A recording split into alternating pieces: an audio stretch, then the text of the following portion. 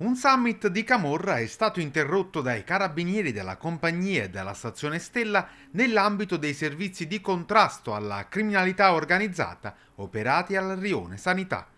Più nello specifico, dopo una serie di appostamenti, i militari hanno fatto irruzione in un palazzo di Via dei Cristallini, interrompendo così una riunione a luna di notte in corso tra il capo di uno degli storici clan del Rione Sanità ed altre due persone una delle quali è stata trovata in possesso di una micidiale pistola semiautomatica. L'uomo armato aveva una SIG Pro calibro 9 che portava carica nella cintola dei pantaloni con 5 cartucce a palla camiciata nel caricatore ed è stato arrestato dopo un tentativo di fuga che si è rivelato inutile.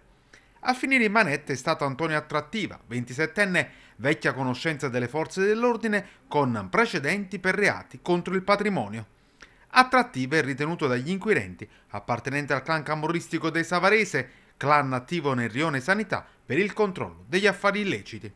Nel fuggi-fuggi generale, dopo l'irruzione dei carabinieri, è stato individuato e riconosciuto il capoclan, ovvero un 63enne attualmente libero, sottoposto a vigilanza dopo una condanna per 416 bis, ovvero associazione camorristica, che è poi stato trovato a casa al piano superiore.